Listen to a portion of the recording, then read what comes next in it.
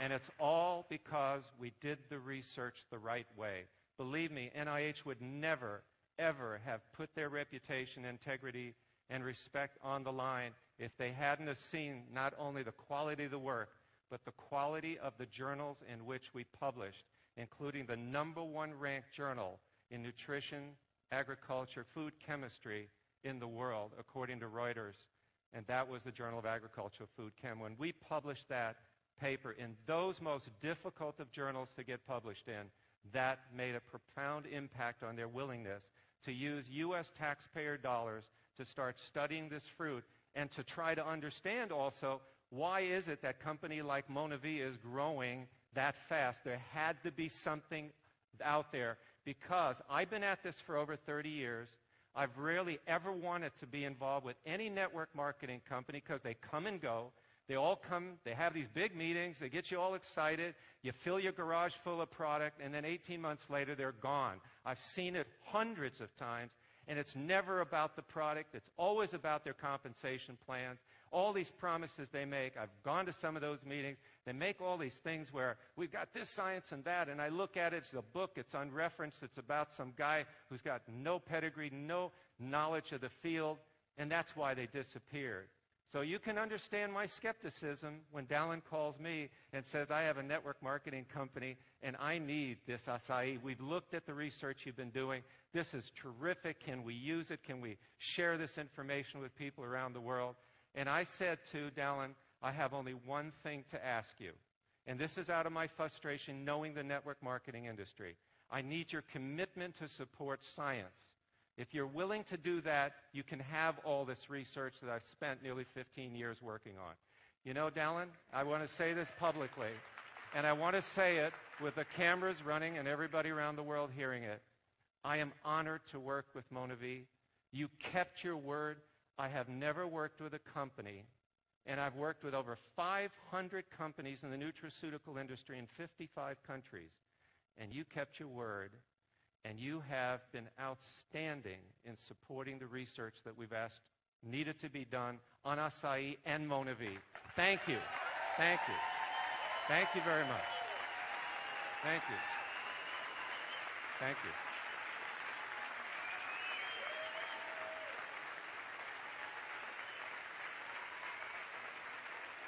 All right. I'm a scientist. I got 18 minutes and 14 seconds to show you what we learned. So here we go, the jet engine. okay. The first thing we, we knew when we started was yes, antioxidants were important. There are t- today over one quarter of a million papers published on antioxidants in the scientific literature. And among the top foods that we have are things like blueberries, blackberries. We've even been studying many of the berries in Canada, especially up in some of the Arctic regions, because they're placed under tremendous stress. And as a result, they have to develop chemical defenses to survive.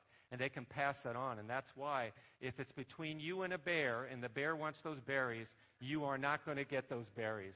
Okay? There's a reason why. But the trouble is the season's short, the, the amount of the material is very limited, and there's tremendous variability in the antioxidant activities based on research we've been doing. But the U.S. Department of Agriculture did develop and publish a list starting in 2004 of all of the top foods in terms of antioxidant capacity against the peroxyl free radical. That is the most predominant free radical in the human body. And what we d- discovered when we got acai was it blew it off the charts. In fact, I'll never forget my day. You've heard it on my tape, you've seen it before. I love describing it because it was one of those moments that every scientist in their life dreams of. It's that call from the laboratory where, Alex, are you sitting down in your chair? I just sent you an email. Open up your attachment. Yep, I see it. I click it open. He says, Look at what we found with this purple powder you sent us. We're all dying to know what is it that you sent us because they were, they were given us blindly.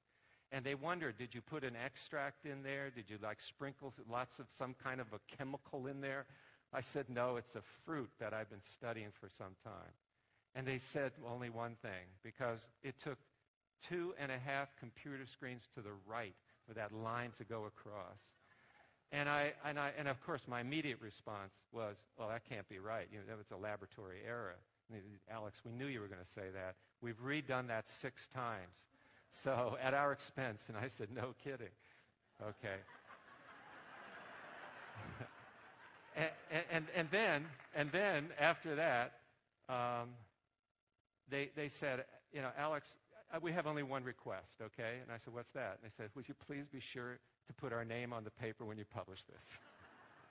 now, when scientists, and this guy is world famous in antioxidant research, he was the head of the lab who called, um, I knew there was something very exciting here. If he's willing to put his name on the paper, in other words, he's willing to stake his reputation that this is true.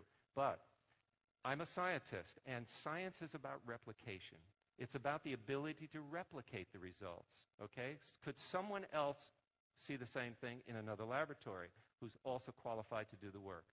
And so we sent it to the U.S. Department of Agriculture, Agriculture Research Services, because they're the world leaders in studying antioxidants in foods. And then I got a hold of Dr. Xianli Wu and Dr. Ron Prior. Dr. Ron Prior was the co-inventor of the Oxygen Radical Absorbance Capacity Assay, or ORAC assay. And I asked them, here's, I'm going to send you some powder. They didn't know about the Boston results from Brunswick Lab. And they went ahead and they called me up and they said the same thing. Uh, Alex, can you be sure when you publish your results that our name's on your paper? Because they had never seen anything this strong. And of course, then they got excited and they started asking questions. And I said, you know, gentlemen, I don't have a lot of answers right now, but I'm, i know we have something extraordinary here that's worth studying. And I could tell as I went from the University of California and different institutions that everybody started to say, Alex, you've got to keep studying this. There's something here that could be of profound value to human health. And that you're going to see probably published next year from these NIH papers. By the way, I am one of the co-authors of that paper that is going to be published. okay. All right. Now, another thing, too, and probably why nobody else had discovered this.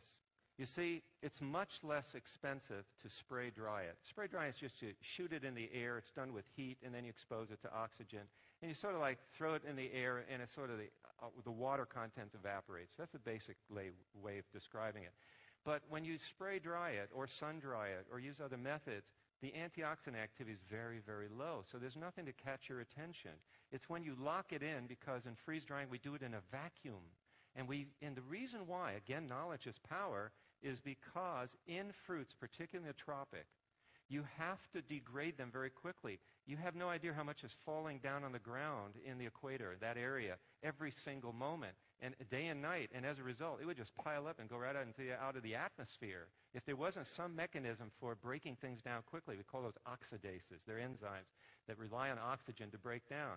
And what we're doing is, in a vacuum, we're locking that in without oxygen, so the oxidases can't get stimulated, so we've preserved all that antioxidant activity. Do you follow? That's in your bottle. You see all that good stuff. Okay.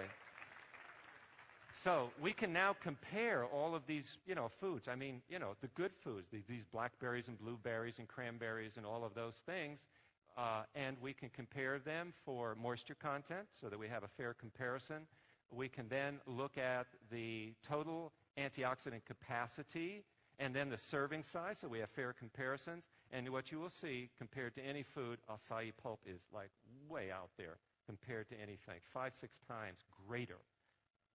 Okay. Another thing that we have is that when we were looking at its antioxidant capacity, there are different free radicals in the human body.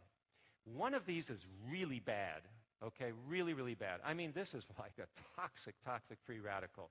And when you talk about diseases and things like that, it's always there. There's a lot of this being produced every waking second. And that is the hydroxyl radical.